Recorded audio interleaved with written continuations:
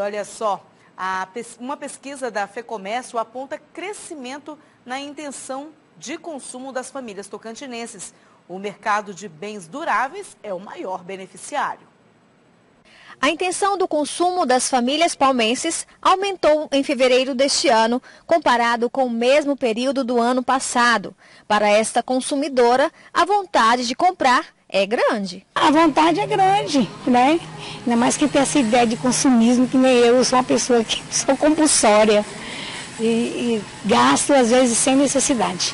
Então eu acho que hoje em dia a gente tem que ter muito pé no chão para comprar. Este resultado se deve a uma pesquisa divulgada pela FEComércio Tocantins, realizada no mês de janeiro deste ano, que analisou a intenção de consumo dos moradores da capital.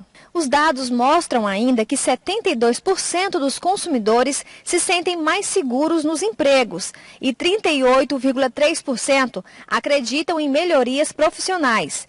A renda familiar de 49,1% dos consumidores está melhor em fevereiro.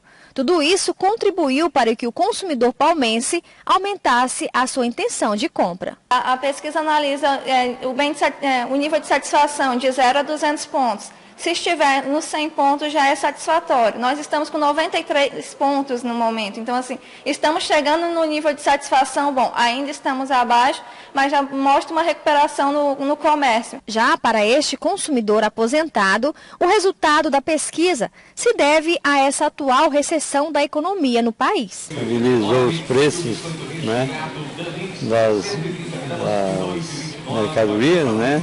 Com o juro mais barato, a inflação mais barata, acho que estabilizou mais ou menos o preço. Né? Segundo a pesquisa, os palmenses pretendem comprar mais. Porém, 74% dos entrevistados disseram que o acesso ao crédito é mais difícil na hora de realizar a compra. O crédito está difícil, os juros estão muito, muito altos.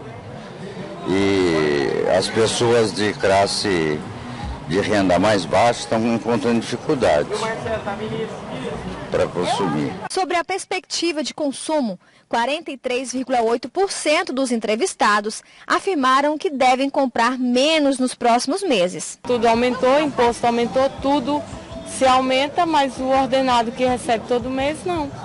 É isso. Mas a vontade de comprar é grande. É, a vontade de comprar é grande, mas não tem como.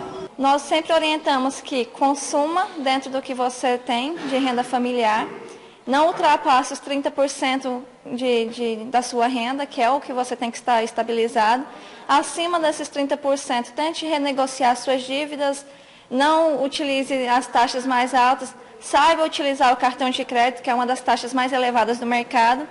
E estabilizando tudo, você pode estar consumindo nos próximos meses mais tranquilo.